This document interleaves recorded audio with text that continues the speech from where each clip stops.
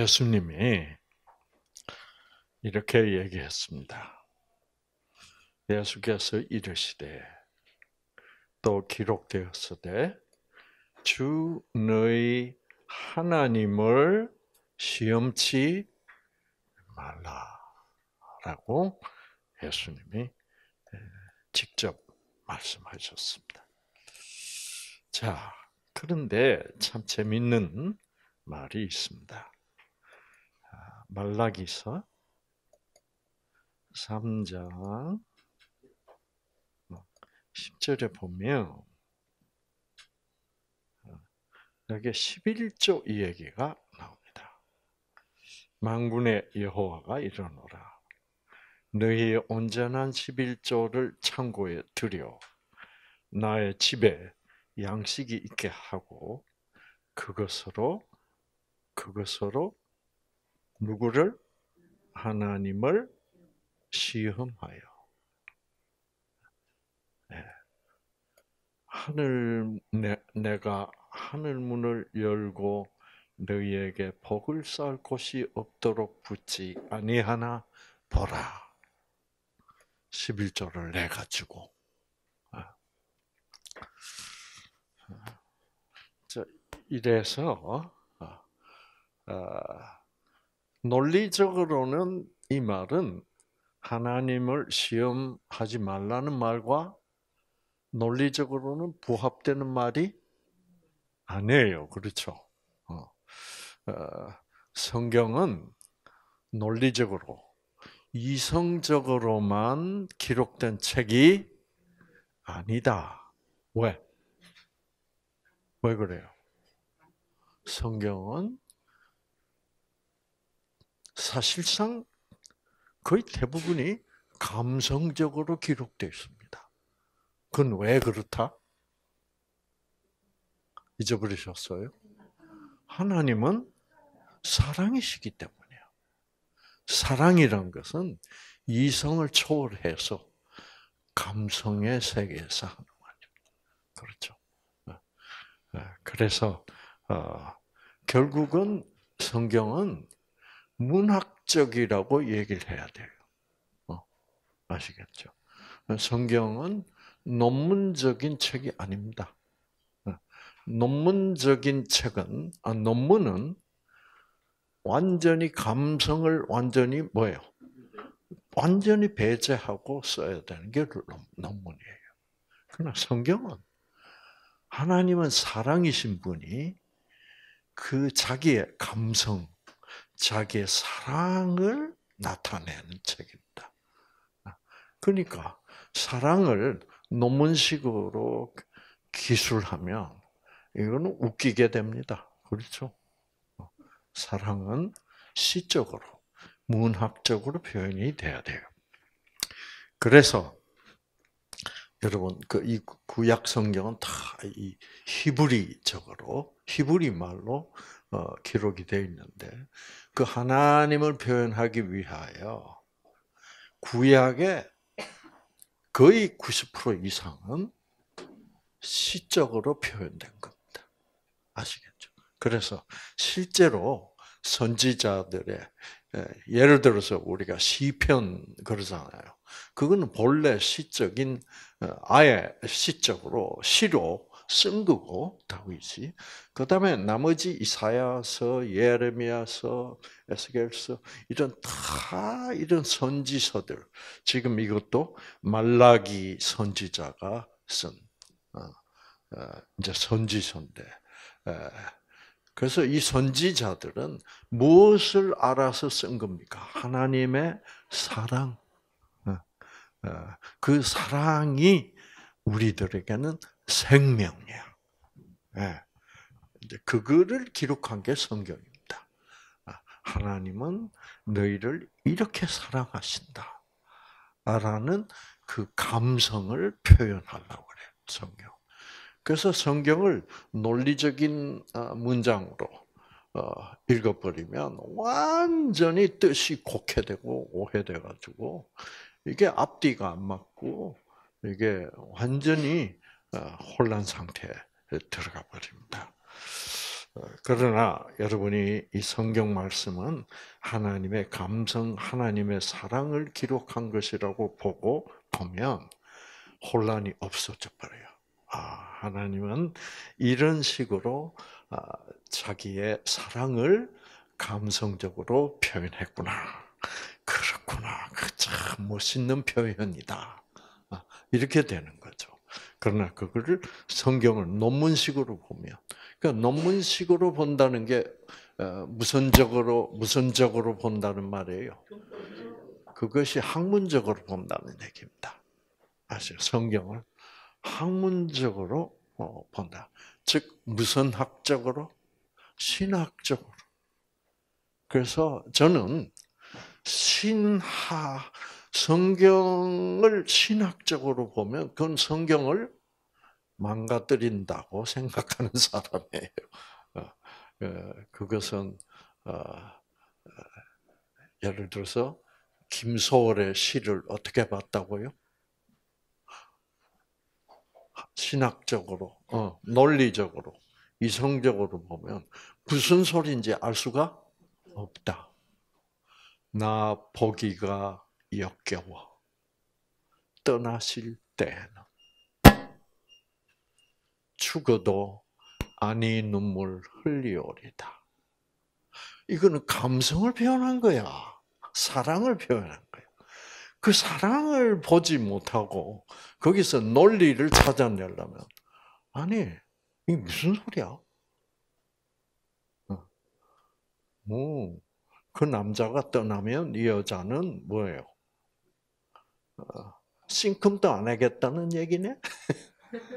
이렇게 거꾸로 그냥 어, 그 정말 감성을 강력하게 표현하시기 위하여 반어법을 아, 쓴 것을 그것을 논리적 그, 어, 논문에서는 반어법 그런 걸 썼다는 그냥 쓰레기통으로 날아가요.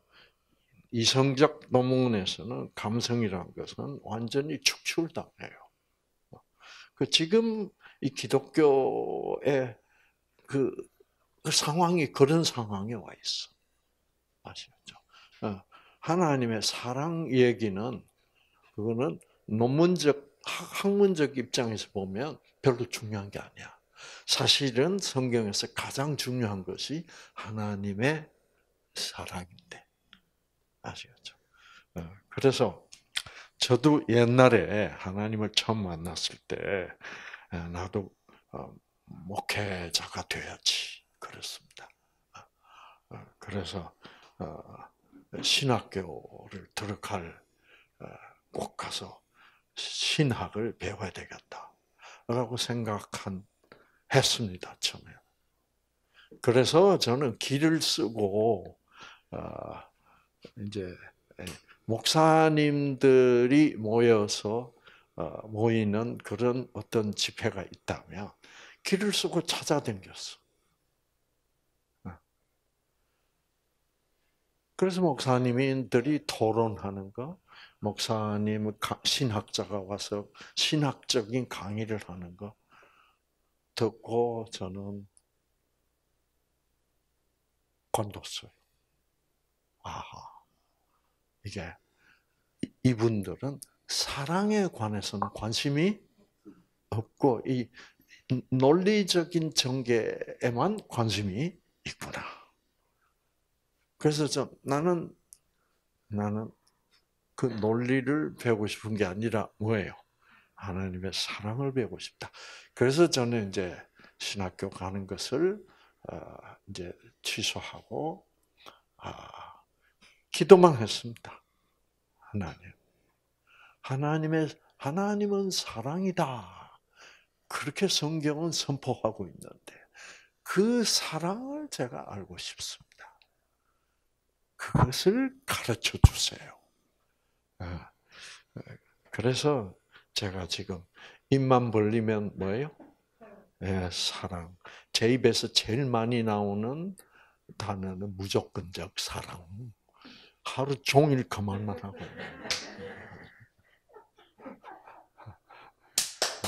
열흘 내내. 자, 이거를 지금 말라기서 3장 10절을 논리적으로 보면 이거는 말도 안 되는 소리. 뭘 하나님을 시험해 보라고? 응. 어, 그리고 논리적으로 분석하면 무슨 말이에요? 어, 11조를 11조를 줘서 양식에 있게 하고 아니 하나님 무슨 양식이 필요할까? 무슨 돈이 필요할까? 이것도 말이 돼, 안 돼? 논리적으로 말 안 돼요. 아직. 그 다음에, 예, 양식이 있게 하고, 그것으로 나를 시험하여 내가 11조를 내는 너희들을 향하여 하늘문을 열고 너에게 복을 쌓을 수 없도록 듬뿍 복을 주겠다. 결국은 무슨 말이에요? 11조를 내면 복을 주고 11조를 안 내는 사람은 11조 내야 되겠네. 뭐 받으려면? 복 받으려면. 이렇게 되어 있다. 사랑 있어요, 없어요? 전혀 없어. 11조, 나 이거 11조 안 내도 먹고 살기 힘든데. 여기다가 뭐요? 수입의 10분의 1을 떼서 준대. 안 주면 복이 없다? 아, 이거 고민이다. 그래서 신앙생활이 11조의 고민으로부터 시작하는 사람이 많습니다. 예. 자, 여기에서 사랑을 찾아내야 돼. 이 말씀 자체가 나는 너를 어떻게 사랑한다는 말입니다, 이게. 그래서 성경을 공부할 때 가장 어려운 것이 무섭게 보이지만 그 속에도 어떻게 사랑이라는 거, 사랑이 있다는 거. 무서운 것은 내가 잘못 그 말을 읽었기 때문이다. 내가 무선적으로 읽으면 무서워요? 네, 조건적으로 읽으면 무서워. 그러나 그 속에서 무조건적 사랑을 보면 와 정말 아름다운 사랑의 표현이구나를 우리가 알 수 있습니다. 자 그러면 어, 예수님이 친히 주 하나님을 시험하지 말라 그랬던 분이 하나님이 나를 시험해라. 시험 시험해. 이제 이런 어, 모순이 예, 이 감성적인 표현을 하기 때문에 어, 이성적으로는 뭐처럼 들려요? 모순처럼 들린다 이 말입니다. 자, 그러면 우리가 한번 어, 이 말라기서 3장 10절에서 하나님의 그 놀라운 사랑을 한번 찾아봅시다. 자, 망군의 여호와가 이르노라. 어, 시작이 거창합니다. 망군의 여호와라. 이 뜻은 뭐냐면 나는 창조주다. 나는 이 세상 만물을 뭐예요? 창조했고 그리고 소유하고 어, 모든 것을 어, 통치하는 그런 하나님이다. 망군의 여호와다 나는. 그 말 속에는 뭐예요? 이 온 우주에 내 거 아닌 거는 하나도 없다. 다 내가 만들었기 때문에 모든 것은 내 거고 나의 지배하에 있다. 그 말입니다. 그러니까 왕창 거창하게 시작하십니다. 요거를 기초로 하고 여러분이 다음 말씀을 이해를 해야 돼요. 자, 그 다음에 나오는 말씀. 나는 안 가진 게 없다. 모든 것은 내 것이다. 그래 놓고 갑자기 어떻게 하나님이 찌질해져요. 음, 요새 찌질하다는 말 많이 쓰더라고요. 그래 놓고 어, 너의 온전한 11조를 11조를 내라. 어울려요, 안 어울려요? 예. 논리적으로 하면 이 말, 말도 안 되는 말이야. 나는 없는 게 없으니까. 모든 것이 나의 소유니까. 너희들이 나한테 바칠 거, 바치는 거 필요 없다. 그래야 논리적으로 어울리죠. 맞죠? 근데 모든 것이 나의 소유고, 내가 지배하고 있고. 그러고 갑자기 뭐예요? 너희 수입의 10분의 1을 내라. 아니, 모든 것을 소유하고 있는데 뭘 하나님이 또 어, 그래야 돼요. 그렇죠. 어, 여러분 그거는 어, 여러분 좀 어떤 말과 같으냐 하면 이런 말과 같습니다. 음. 제가 이 11조 이 말라기서 3장 10절에서 하나님의 사랑을 찾아내기 위하여 기도를 많이 했어요. 음. 아, 모든 11조에 관한 설교가 다 이것은 교인들의 의무다. 이렇게 의무감, 짐을 지어주는 설교를 하고 있습니다. 아시겠죠? 그럼 거기서 우리는 그게 의무가 되고 책임이 돼 버리고 그럼 그것을 수고하고 무거운 짐이 돼 버리는 거예요. 그래서 유대인들은 다 그런 하나님 하나님이 지어준 그런 11조의 짐, 이런 짐, 저런 짐 다 지고 그렇게 살고 있었기 때문에 예수님이 와서 뭐라 그래요? 유대인들 보고 수고하고 무거운 짐을 지고 의무감에 책임감에 살고 있는 너희들아 나에게로라 나는 뭐요 무조건적 사랑을 너희들에게 보여주러 온 하나님의 아들이다 나에게 오라 내가 너희를 쉬게 하리라 너희들의 마음속에 그 의무감을 없애주겠다 그 무거운 책임감을 없애주겠다 네. 나하고 나를 알아봐라. 내가 너희를 쉬게 하리라. 그래서 이 지금 많은 종교인들이 종교를 하나의 의무와 책임으로 생각하고 신앙을 하고 있는 것은 어, 자기들이 믿는 하나님이 조건적 하나 조건적 사랑의 하나님이기 때문에 그렇다는 것을 알아야 돼요. 아시겠죠? 음. 아, 그, 여러분이 그 유명한 참으로 훌륭하신 마다 테레사라는 분 아시죠? 어. 아, 저는 그분이 이제 십자가에서 아, 아니 그 TV에 가끔 이렇게 나올 때 이렇게 보면 참 존경스럽고 그렇죠. 어. 그런데 제 마음 속에 뭔가 뭔가 좀 이상하다 게 있었어. 그 뭐냐면 이분이 잘 안 웃어. 어. 표정이 항상 어두워요. 그래서 어,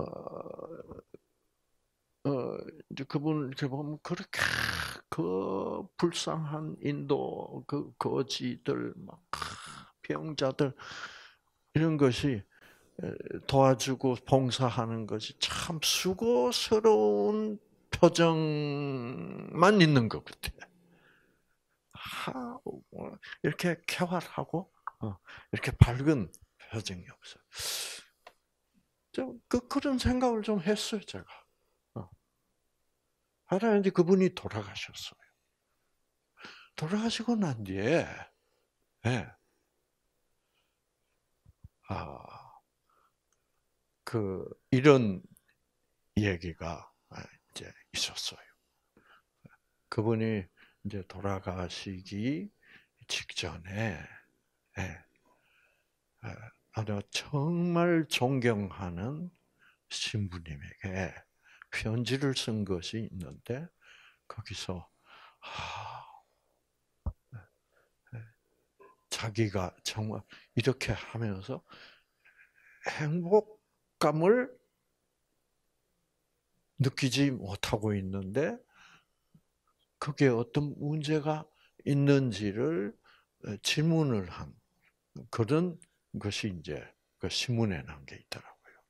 아, 그래서 그걸 보고 아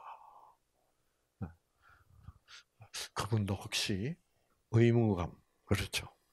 그런데 사실 대부분의 종교인들은 의무감으로 합니다. 의무감. 음. 아, 그 이제 그래서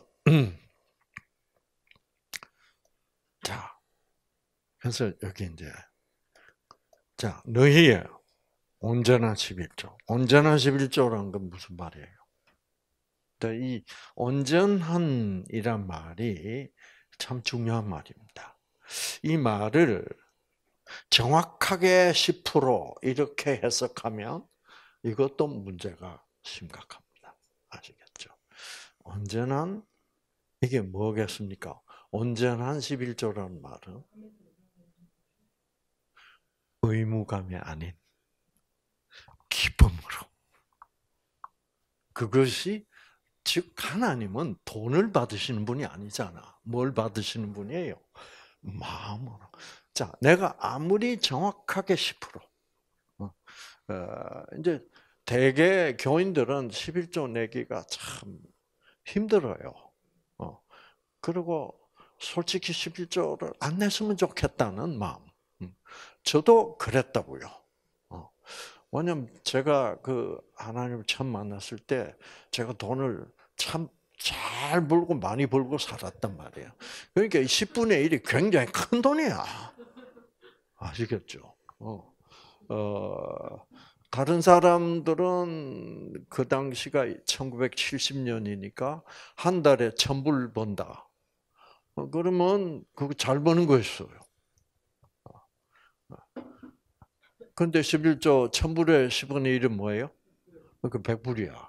그런데 이제 그것도 100불, 어이, 1000불 벌었는데 100불은 11조 내고 900불. 아이고. 그래서 이제 그 교인들이 목사님한테 전화를 해서 물어보는 게 뭘 물어봐요? 세금 띄고 냅니까? 어. 세금 안 띈 채로? 어? 그래서 이제 천불에 세금을 내면 세금이 한, 어? 한, 한 100불 나가고. 그래서 900불에서 10분의 1이면 90불 내면 돼, 11조. 어. 이제 이렇게, 이렇게 그 의무감으로 스트레스를, 11조 때문에 스트레스 많이 받아. 아시겠죠? 어. 저는 더 크게 받았어요. 왜?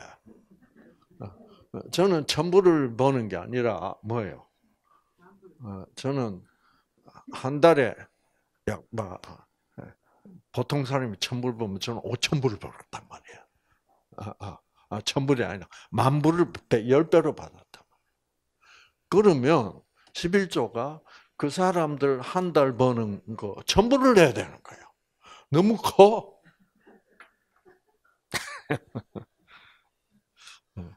그래서 참, 아, 그게 아깝기도 하고 어, 또 아까우면 또 죄책감이 들어. 어, 내가 11조를 드리면서 왜 이렇게 내기 싫을까? 음. 아, 그러니까 하나님이 내 11조를 과연 받아주실지도 모르겠다. 그러니까 갈등이 신앙이야, 갈등에서. 그 이제 사단이 나한테, 악령들이 나한테 이제 자꾸 죄책감을 주는 거. 너 진짜 내고 싶어서 내는 거야? 너 진짜 즐거워? 안 즐겁지? 그럼 너는 가짜야. 이, 이렇게 악령들이 고민을 시키는 거예요. 어. 그 고민이 옳아요, 여러분. 네, 이제 오늘 이 얘기를 어, 들으면서 어, 좀그 고민을 푸시기 바랍니다. 음. 제가 이 때문에 고민이 풀어졌어요. 그리고 11조가 11조를 기쁜 마음으로 내게 됐습니다. 자, 자, 그래서 온전한 11조라는 말을 여러분이 먼저 기억하시기 바랍니다. 어, 그래서, 어, 근데 여기 이제 재밌는 말은 11조를 어디다 들여놓으라고? 창고. 어, 그 당시에는 돈이 없었던 모입니다. 화폐가 없고 물물교환 시대였던 모예요. 그러니까 이제 이게 다 물질이야. 그러니까 무슨 어? 농사를 지으면 뭐예요? 쌀가마니 갖다 놓으라. 어. 이제 이런 식이었던 거죠. 그러면서 하나님이 이 말씀을 왜 했는지 모르겠어요. 그래서 그 쌀가마니를 또는 밀가마니, 예, 보리가마니를 가져와라. 아, 그래가지고 나의 집에 뭐가 있게 하라? 양식이 있게 하라. 자, 이렇게 되면 논리적으로 생각하면 이것도 말이 안 돼요. 그럼 우리가 쌀 안 주면 하나님은 굶는다는 얘기야. 그럴 리가 어떤 하나님이신데? 망군의 하나님이신데 뭘 우리가 안 주면 굶다. 말이 돼요, 안 돼요? 천만이야. 말, 말도 안 되는 말이야, 이거. 이렇게 말도 안 되는 말을 뭐라고 불러요? 어, 코미디라 그래요. 지금 하나님은 자기 이렇게 우리에게 훈계하는 게 아닙니다. 하나님은 우리를 사랑한다는 것을 나타내기 위하여 코미디합니다. 여러분, 사랑하면 사랑하는 마음이 있어야만 코미디를 합니다. 코미디 한다는 것은 뭐예요? 코미디 하는 쪽이 망가진다는 얘기예요. 체면을 뭐예요? 버리고. 네. 내가 망가져도 상대방을 어떻게? 상대방을 기쁘게 웃게 해주는. 그게 사랑의 마음입니다. 아시겠죠? 어. 어, 저는 옛날에 지금 우리 그 손자가 어, 이제 스물다섯, 스물여섯이 됐는데 어, 우리 손자가 어릴 때 손자를 만날 시간이 없었어요. 어. 왜냐하면 자꾸 아까 얘기 잠깐 들으셨겠지만 맨날 비행기 타고 가방 싸서 한 주 단위로 숙소가 달라졌습니다. 그걸 1년 내내 하는 거예요. 네. 어, 그만큼 이제 여기저기 세계 각국을 댕기면서 이제 강의를 하고 어, 네, 그렇기 때문에 그래서 참 고생 많이 했어요. 근데 저에게는 그게 고생이 하나도 아니고 하나의 그 사명감이고 그것이 그거를 하면 재밌고 저는 어, 그런데 그래서 마누라도 그런 줄 알았어. 근데 나중에 얘기 듣고 보니 아참 고생을 많이 시켰구나. 어, 어. 그래서 저는 이제 같이 댕기면서 어떤 생각을 했냐면 너는 참 신랑 잘 만난 거 알아? 이렇게 맨날 여기저기 댕기면서 어, 그리고 다 거기는 초청해서 어, 가는 거기 때문에 갔다 하면 대접이 융숭하다고. 어, 그 이제 예, 오늘은 이분이 대접합니다. 오늘은 이분이 대접합니다. 거기 일주일 있는 동안 맨날 잘 먹어. 어. 그러니 얼마나 신랑 잘 만났어요. 근데 가만 보니까 초청 받아서 대접 받으러 갈 때마다 옷 뭐, 뭐, 이런 거 신경을 써야 되니까 맨날 뭐 같은 옷을 입을 수도 없고, 뭐 상당히 스트레스 많이 받았던 것 같아요. 근데 그거, 그런 걸 저는 하나도, 어, 봐, 나하고 결혼 잘했지? 어, 이런 마음밖에 없었다고. 자, 음. 그래서 이제 우리 손자도 그렇게 볼 수가 없었어요.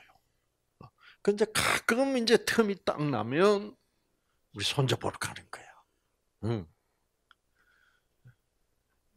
그럼 그래서 손자는 저를 어, 그 당시에 이제 세 살, 네 살, 이제 다섯 살 이제 이렇게 된대. 어, 그래서 이제 손자는 저를 어디에서 만나요? 공항에서 만나.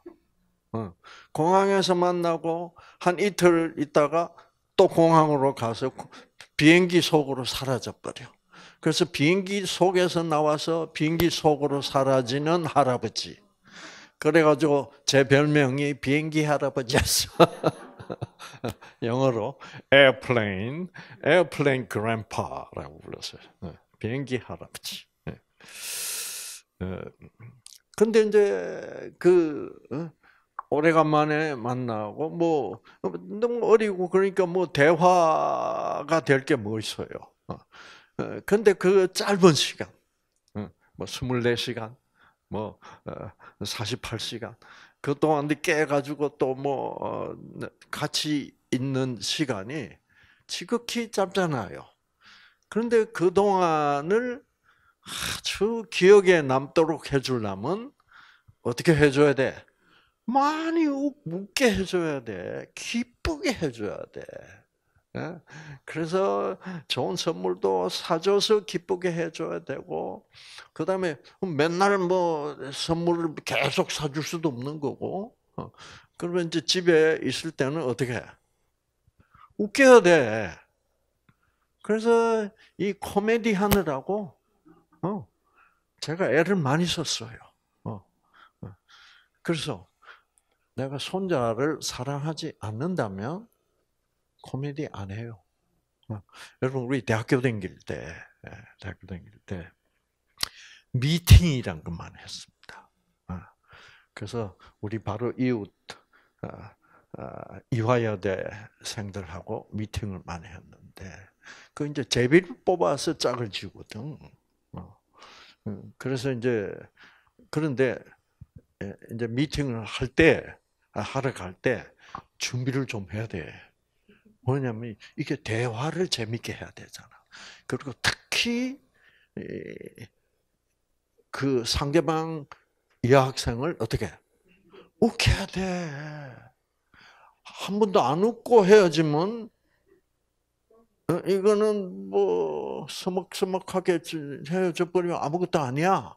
어, 그래서 이 학생이 마음에 들 경우에는 또 다시 만나자. 라고 하려면 아주 좋은 인상을 강력하게 어떻게 줘야 됩니다. 어, 그러려면 준비를 철저히 해야 돼요. 어, 그래서 종이 쪽지에다가 무슨 얘기, 코미디 할 거. 네. 그래서 그게 기억이 안 나면 또 봐야 돼, 이렇게. 음. 그런데 제비뽑기에서 호박이 걸리면 그 준비한 거 사용하게 안 하게 안 해요. 네, 천정 보고 바닥 보고 이러다가 안녕히 가세요 하고 끝나버리는 거죠. 어. 그 이제 마음에 드는 여학생이 걸리면 그래서 음. 그래서 사랑하면 마음에 들면 뭐요? 코미디 합니다. 우리 한국 사람들은 하나님이 코미디 한다 그러면요 아주 기분 나쁘게 생각하는 사람들이 있더라고요. 그 근음하신 하나님이 어떻게 코미디를 하냐 이거지 안 해요. 하나님은 하나님은 밝으신 분이야. 하나님은 그, 그 아이디어가 그 위트가 어떻게 해요? 아, 어, 맨날 어, 그런 분 아닙니다. 그, 그러니 그런 하나님으로 생각하고 여러분이 이 말을 읽어보세요. 자, 너희들 11조, 11조 꼭 줘. 어? 어, 우리 창고가 있거든. 거기다가 가만히 주로 가능하면 많이 갖다 놔. 어? 여러 가만히. 그래 그래야 우리 집에 뭐요? 양식 있고 내가 안 굶지. 이게 다 코미디 아니에요? 참 다정한 말이에요. 아, 그런데 이 다정한 코미디를 엄숙하게 읽는 것도 그것도 상당히 고차원적 코미디입니다. 이, 이 이렇게 하나님이 우리를 웃기려고 다정하게 말씀하시는 이 코미디를 왕군의 여호와가 이러노라 나는 무사기를 너의 온전한 11조를 창고에 들여라 그래서 내 집에 양식이 있게 하라 이렇게 읽어버리면 주로 그렇게 읽습니다. 그래서 교인들이 뭐요? 어, 11조 꼭 내야 되겠 그 의무감과 책임감을 느끼게 그런 어조로 읽어요. 근데 그것이 바로 참 아, 우리가 하나님과 함께 함께 한다는 것이 행복하고 즐겁고 어, 그런 게 아닌 그 이유죠. 어, 양식이 있게 하고 자 그것으로 어떻게 나를 시험 이게 말안 되는 거예요. 그래서 제가 이 그것으로 나를 시험하여라는 말이 안 풀려 가지고 아, 아주 제가 고심하고 기도했습니다. 그러다가 쫙 풀렸어요. 음. 아, 어떻게 됐냐면, 음.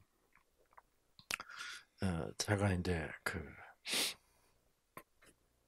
한 번은, 아, 아, 아, 그러다가 이제, 어, 한 번은 우리 딸이 예, 어, 전화가 왔어요.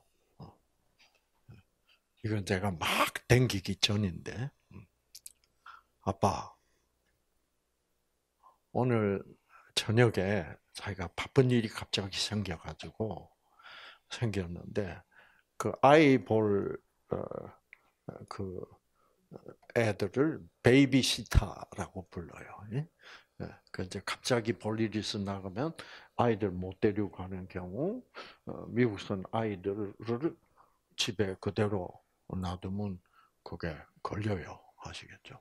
그래서 반드시 그 이제 주로 어, 고등학생들 어, 알바 어, 그 해서 집에 와서 아기를 봐주고 그래서 이제 부모가 돌아오면 이제 시간당 해서 얼마 주고 그렇게 하는 아이들을 베이비시터라고 불러요. 근데 베이비시터도 못 구했다 이거죠, 우리 딸이. 그러니까 오늘은 아빠가 베이비시터 노릇을 좀 해주면 좋겠다. 그래서 물론이지, 내가 하지. 그래서 이제 아, 그 우리 손자를 데리고 왔어요. 그때 손자가 아, 이제 네 살 정도 됐는데 우리 딸이 아주 그, 어, 이 뉴스타트를 싫다고 안 하다가 임신을 딱 하니까 뉴스타트 시작하더라고요. 어. 어, 그러니까 자기를 위해서는 뉴스타트를 안 해. 근데 임신을 딱 하니까 자기 아기를 위해서는 뉴스타트를 하더라고. 어. 그래서 임신 중에 뉴스타트를 잘 했어요. 어? 운동도 철저하게 하고 다 그러면서 그래서 애가 태어났는데 최고로 건강하게 태어났어요. 그리고 애 성격이 얼마나 좋은지 부드럽고 음. 그래서 어, 이제 어, 했는데 그래가지고 어, 이제 그 키우면서 우리 손자를 키우면서 이제 아이스크림은 나쁜 거니까 아이스크림은 한 달에 한 번만 엄마가 사줄게. 이제 이런 그런 식으로 키웠어. 그러니까 아, 아이스크림은 절대 안 돼 이러지 않고 네가 정 먹고 싶으면 한 달에 한 번 정도는 엄마가 아이스크림을 사줄게. 예, 그러고 이제 사고 있었어요. 근데 이제 그날 손자를 딱 데리고 왔는데 데리고 와서 이제 그래서 저도 이제 퇴근하게 됐어요. 그때 이제 그 그날 치료비가 들어왔는데 미국 사람들은 이렇게 현금을 가지고 와서 치료비를 주는 경우는 거의 없어요. 다 각자 수표가 있어. 수표 책을 갖고 댕겨 미국서는. 어, 한국은 그런 거 없어. 어, 어, 그러니까 자기 이름이 인쇄된 그 은행에서 수표를 만들어줘요. 공수표를. 그래서 만들어주면 거기다가 돈 얼마 쓰고 누구 누구 앞 이래가지고 자기가 사인해서 어, 지불하면 돼. 어. 그래서 예를 들어서 백화점에 가서 그때는 신용카드도 잘 사람들이 안 쓰고 그런 때니까 어, 백화점 가서 뭐 사면 자기 개인 수표책 꺼내가지고 네. 무슨 백화점 앞 얼마 며칠 매달 며칠 사인 하고 주면 그대로 받아요. 어, 어. 근데 요즘은 점점 까다로워지고 있다 그러다. 그래서 저는 미국 처음 가서 그런 점이 너무너무 마음에 들어. 그렇게 서로가 서로를 어떻게 믿어준다는 거. 그 얼마나, 그 처음 본 사람, 그냥 받는다고. 근데 그거, 그게 가짜라 그러면 큰일 나요. 어, 그러면 이제, 예, 예, 수사해서 체포하고, 그래서 참, 네. 그래서 그런 신용 꼭 지키죠. 자, 그런데, 그래서 주로 치료비를 그렇게 수표로 가지고 오는데, 아, 어떤 사람이 이제 자기가 가입한 의료 보험에 그 문제가 생겨가지고 치료비가 밀린 것이 한 3천 불이 밀렸어. 어. 어. 그러면서 뭐 이사를 가면서 뭐가 어떻게 잘못됐는지 현금을 100불짜리를 3천 불을 딱 이제 주고 갔어요. 근데 그게 은행에다가 이제 입금시켜야 되니까. 음. 그래서 이제 그 현금, 어, 그래서 다 제가 가지고 이제 주머니에 넣고, 그 이제 손자하고, 자, 오늘 할아버지하고 재밌게 드라이브를 가자. 어, 어, 할아버지 맛있는 거 사줄게. 그래서 쭉쭉 가는데, 손자가 고개를 푹 숙이고 한참 있더니, 왜 그러니? 제가 그랬더니, 할아버지, 이거 상당히 어려운 부탁이 있다 이거야. 그 뭐가 그렇게 어려운 부탁이냐? 했더니 할아버지, 제가 아, 지난 아, 한 달에 한 번씩 아이스크림을 먹게 돼 있는데 지난 두 달 동안을 못 먹고 지금 오늘은 거의 석 달째 아이스크림을 못 먹고 있다. 왜 엄마가 한 달에 한 번씩 사주기로 했잖아. 그러니까 어, 자기가 감기기가 있어가지고 감기기 있다 그러면 아이스크림 먹으면 감기가 더진다고 어, 안 사주고 안 사주고 그래 지금 거의 석 달째 아이스크림을 굶고 있는데 엄마가 아직도 사줄 생각이 안 보인다. 그러니까 할아버지가 오늘 자비를 베푸시면 어떻게 하느냐? 야, 여러분 그 나이에 그렇게 어? 먹고 싶은 어, 그것도 한 달에 한 번밖에 못 먹는 아이스크림을 지금 석 달째 못 먹는다는 말을 들으니 하참 응? 여러분 제가 이 할아버지가 아마 그 엄마가 석 달째 안 사줬으면 안 사줄 이유가 있겠지. 어, 그걸 할아버지한테 사달라면 어떡해? 그런 할아버지는 율법주의 할아버지요. 사랑의 할아버지 아니에요. 그렇죠. 네. 그래서 제가 그래. 그리고 제 마음도 너무 아파. 자식이 얼마나 먹고 싶겠냐 말이야. 그래? 그러면 할아버지가 사줄게. 그랬더니 이야 고맙대. 그래서 이제 아이스크림 집으로 싹 갔죠. 가서 이제 아이스크림 그때 한 개 2불인가 했어요. 아, 들어서 아이스크림 하나 시키고 이제 아이스크림 받았어. 어, 그래서 이제 제가 아이스크림 값 2불을 지불하려고 보니까 지갑에 1불짜리 잔돈이 없는 거야. 어, 돈이 있는 게 그, 그 100불짜리 그거밖에 없어. 아, 그래가지고 이제, 어, 미안하다 그러면서 그 점원 아가씨한테 100불짜리를 줬어. 그 점원들한테는 그 귀찮거든. 왜? 그 사람 돈다 긁어 모아가지고, 어? 그, 아, 아이스크림을 적어도 50개는 팔아야 그 사람들 줄 수 있잖아. 그리고 다음 손님 오면 그 사람도 못 주고, 뭐, 뭐, 이런 문제가 많기 때문에. 참 미안하지만, 어떻게? 줬어요. 그랬더니 이제 아가씨가 참 무려 몇 불을 거스름 돈을 줘야 돼? 98불. 한참을 세야 된다니까. 그러니까 손자가 할아버지가 돈을 하나 한 장 줬는데 뭐예요? 이건 열 몇 장을 도로 받으니까 손자 할아버지 어떻게 된 거냐? 네. 네. 할아버지가 낸 그 돈이 얼마나 큰 돈이기에 이렇게 거스는 돈을 많이 받냐. 네. 그래서 어, 제가 그거는 100불짜리야. 아이스크림은 2불이야. 그러니까 이 손자가 그러면 할아버지 그 100불짜리 하나 가지고 2불짜리 아이스크림 몇 개 먹을 수 있대? 50개. 어.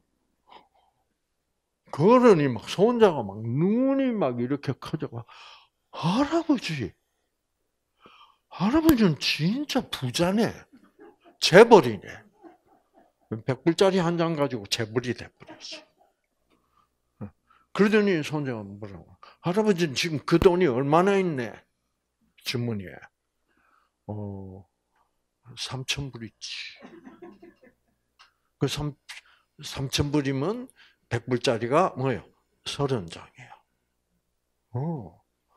그러면 예? 한 장에 50개고 30장이면 몇 장, 몇 개요? 예? 50개 곱하기 30 하면 뭐예요? 예? 1500개. 할아버지, 1500개면 한 달에 한 번 먹으면 1년에 12개 먹는데 1,500개 먹을 돈이 있으면 몇 년간 먹을 수 있어요? 네, 100년, 150년간. 손자가 할아버지 너무 놀래버렸어. 할아버지가 이렇게 거부인 줄을 몰랐어. 그래서 눈이 둥그레지니까 제가 손자한테 뭐라 그랬게? 할아버지는 대재벌이라고. 그 말이 뭐예요? 바로 망군의 여하라 이 말입니다. 할아버지는 망군의 재벌이요. 나는 아무것도 걱정할 필요가 없어. 그렇게 나와야 망군의 여호와답지. 근데 망군의 여호와야. 네. 150년 사줄 아이스크림 사줄 돈을 나는 가지고 있어. 그런데 11조를 내라? 그 말이 안 되잖아. 그러니까 이게 코미디라 이 말이에요. 어, 코미디란 거는 말 안 되는 말을 말이 되는 것처럼 하는 게 코미디거든. 그렇죠? 응. 그러더니, 어, 할아버지, 나는 할아버지가 너무 자랑스러워요. I'm so proud of you, grandpa. 음, 음. 나는 마음 푹 놓고 공부나 열심히 해. 딱 그랬어. 그 이제 저기 이제 그걸 핥아 먹으면서 너무 너무 좋아하는 거야. 응?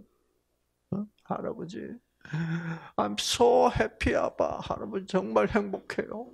석 달 만에 한 번 먹는 이 아이스크림이 너무너무 맛있어요. 어, 그래. 근데 그 맛있게 먹는 거를 보니까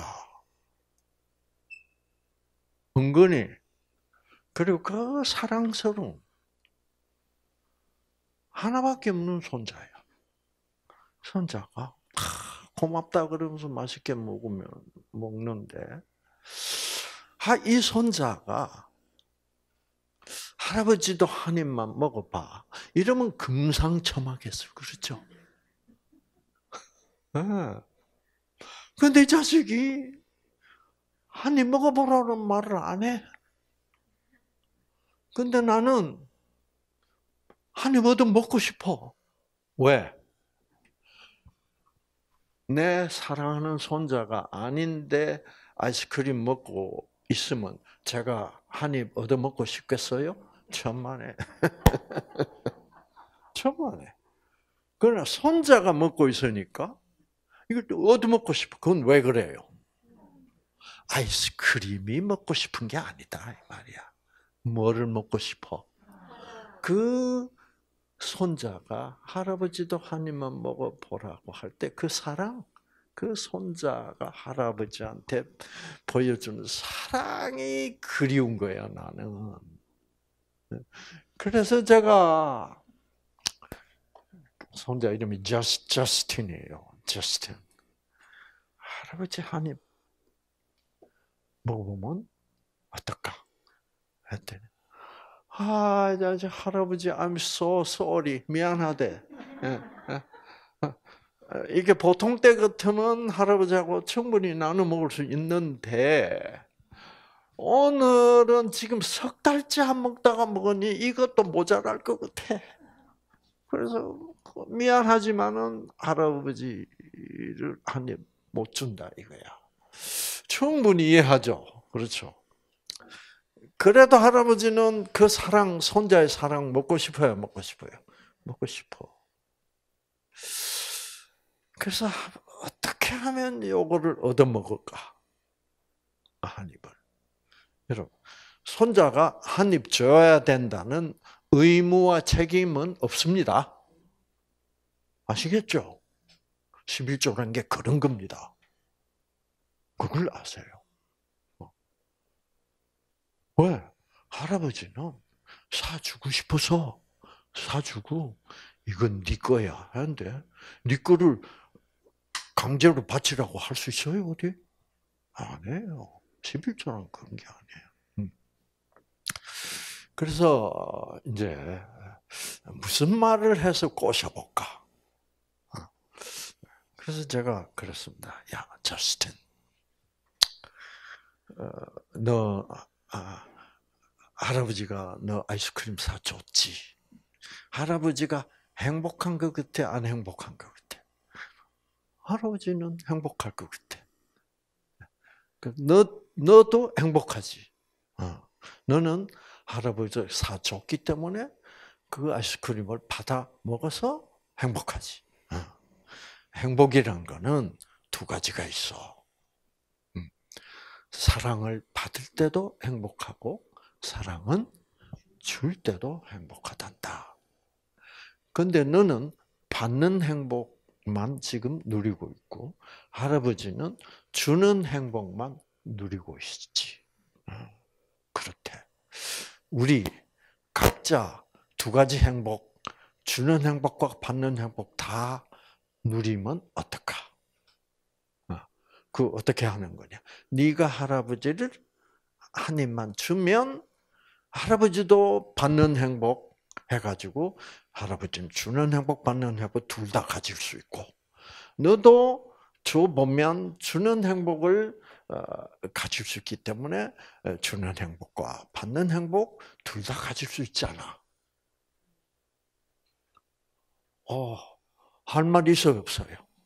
어, 할 말이 없거든. 그랬더니 아주 입장이 곤란해 하면서 할아버지, 근데 오늘은 주는 행복을 자기가 못 느낄 것 같아.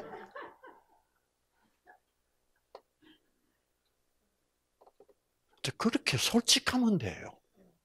어. 하나님, 내가 11조를 드리는 행복감을 아직은 모르겠습니다. 그러면 돼. 그런 것을 하나님은 제일 좋아해. 왜? 솔직하게 마음을 보여주니까. 그 마음은 여기다 숨겨놓고, 하나님, 정확하게 계산했습니다. 그러면 뭐 하나님 무슨 수거문인가?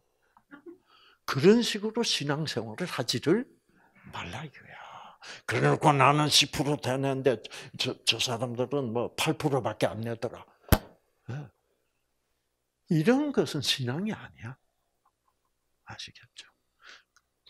그런 형식적, 어, 외식적 신앙에 사로잡혀 있는 것이, 그, 그러면 유전자는 맨날 꺼지다가 볼일 다 봐. 아시겠죠? 어. 그래서 이제 아, 할아버지 오늘은 자기가 주는 행복을 느낄 수 없을 것 같아요. 그래서 제가 뭐라 그랬게? 잘 들으세요. 그러면 있잖아. 한번 시험해 보면 어떨까? 네가 주는 행복을 할아버지한테 한 입 주고 행복한지 안 한지 뭐요? 한번 시험해 보면 되잖아. 그러니까 얘가 근데 할아버지 만약 행복 안 하면 저는 큰 손해 본 거 아니에요. 그래서 제가 뭐라 그런지 알아요? 네가 주는 행복을 못 느끼면 할아버지가 그 보상할게. 어. 할아버지 나 행복 안 해요. 그러면 할아버지가 아이스크림 한 개 더 살 돈 줄게 지금. 그러니까 아이상식이 아 솔깃한 모양이야. 아 그러면서 이제 다 손해 볼 건 없으니까 그렇죠. 음. 그래서 이제 11조를 아이스크림을 가지고 11조를 어, 할아버지한테 주면서 자기가 행복한지 안 한지 시험해 보는 거예요. 그래서 다 조심스럽게 주면서 할아버지 조금만 먹어야 돼요. 조금만. 그래서 제가 제가 그 아이스크림을 조금 눈곱만큼 먹었어.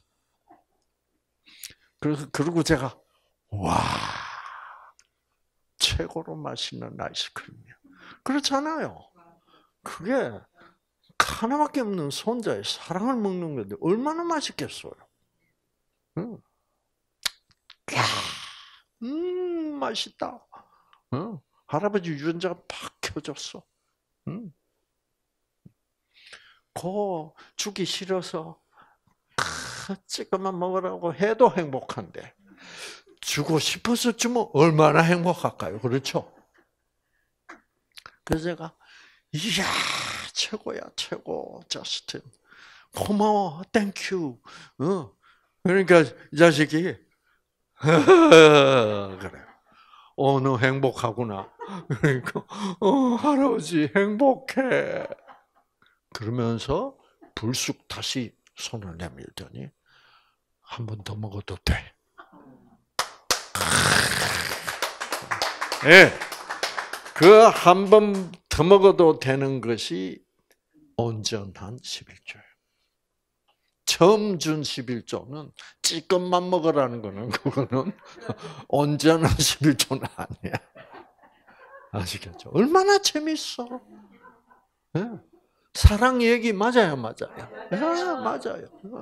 그래서 제가 그 온전한 11조를 두 번째를 먹고 나서 너무 유전자가 켜져가지고, 네. 제 마음에 무슨 생각이 들게? 이런 생각이 들었습니다. 네. 할아버지가 하나님이 내가 하나님이 하나님이죠. 그런데 이걸 바꿔서 할아버지가 지갑 문을 왕창 열고 손자에게 아이스크림을 뱃속에 쌀 곳이 없도록 먹여주고 싶더라 이 말이에요. 아시겠죠? 어. 이래서 할아버지와 손자가 어떻게 둘이가 서로가 너무 너무나 행복하자. 함께 행복하자는 말이지 돈 내놓으라는 말이 아니라는 것을 여러분 꼭 기억하시기 바랍니다. 아시겠죠? 어, 그래서 절대로 하나님을 시험하면 안 되지만은 어, 이런 사랑을 얘기할 때는 뭐가 되고 뭐가 안 되고 그런 거는 없어진다 이 말이야. 그것이 바로 뭐예요? 율법의 그 불완전했던 율법의 율법이 완전케 되면 완성이 되면 그것이 바로 뭐가 된다고? 뭐를 하지 해라 하지 말라 이런 거는 없어지는 사랑이 되고 만다. 예, 그래서 사랑은 율법의 완성이다. 그렇죠? 설악산을 보면 다른 산 볼 필요 없어. 설악산은 모든 대한민국의 산을 완성한 산이야. 예. 다른 산들은 조금 조금씩 부족하다 이 말이에요. 아시겠죠? 예. 그 이거를 이것이 사랑의 완성. 그 사랑의 가장 완벽한 완성은 무엇이다? 십자가의 구원이다. 결국 이 11조 얘기도 십자가 구원을 이야기하고 있는 거예요. 아시겠죠? 그래서 손자와 할아버지가 하나가 되는 거야. 하나님과 우리가 하나가 되고 싶은 그런 아, 그래서 우리 인간과 하나님이 분리되어 있다가 드디어 사랑 안에서 하나가 되는 것. 이것을 사도 바울은 어, 논리적으로 어, 아, 화목, 화목이라 그런다. 하나님과 우리가 화목한다. 그래서 예수님은 화목 제물이 되셨다. 그래서 여러분 성경은 이렇게 읽으면 너무 너무 재밌는 거예요. 네. 그래서 여러분 오늘도 이런 하나님의 부드러우신 정말 따뜻하신 무조건적 사랑 안에서 여러분의 유전자들 잘 회복되시기를 바랍니다. 알겠죠? 네. 네. 우리 말씀은 이렇게 기쁨이요, 사랑이니까. 그, 그러면 유전자 켜져. 그러니까 생명의 말씀이지. 아시겠죠? 그러니까 하나님, 하나님이 말씀으로 치유하신다. 하는 말이 맞죠. 기도하겠습니다. 하나님. 정말 이렇게 사랑 얘기가 우리에게는 의무감으로 다가오고 책임감으로 다가오고 그래서 신앙생활이 무거운 짐을 지고 가는 이렇게 우리들이 하나님을 오해해 버려서 조건적인 사랑으로 오해해 버려서 그 오해 결과 정말 원수도 사랑하시고 죄가 많은 곳에 은혜를 더하시는 그런 무조건적 사랑의 하나님임을 깜빡 잊어버려서 하나님과의 거리가 자꾸 생기는 그런 우리들이었습니다. 그래서 11조 얘기만 나오기만 해도 우리는 죄책감에 사로잡히고 하나님이 하나님에게 미안해지고 뭔가 송구스럽고 뭔가 피하고 싶은 그런 이상한 관계가 되어 있었습니다. 이제 정말 이 11조를 통한 사랑 이야기, 하나님의 마음, 그 사랑의 마음을 우리가 알게 되었습니다.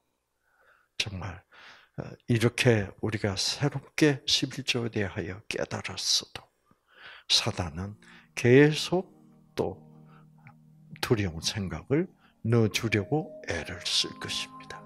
그러나 우리는 이 아름다운 사랑의 이야기를 다시 듣고 또 다시 기억하고 그래서 우리 속에 이 사랑에 대한 믿음이 굳건하게 세워줄 수 있도록 성령으로 우리를 아, 도와 주시옵기를 그리하여 그 사랑으로 우리 모두가 치유될 수 있도록 하나님께서 함께하여 주시옵기를 예수님 이름으로 기도합니다.